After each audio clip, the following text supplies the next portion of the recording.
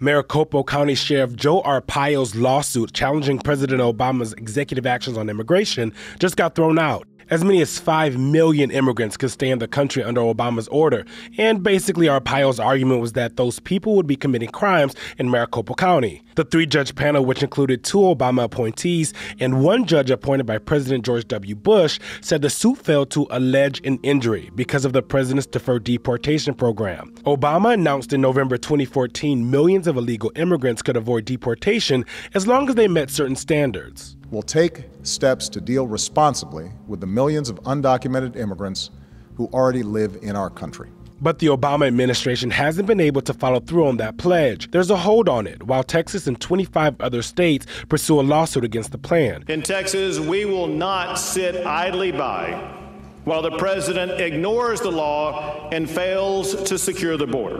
While immigration can be a highly partisan issue, a Gallup poll released this week found 65% of Americans favor some kind of path to citizenship. For Newsy, I'm Eugene Daniels.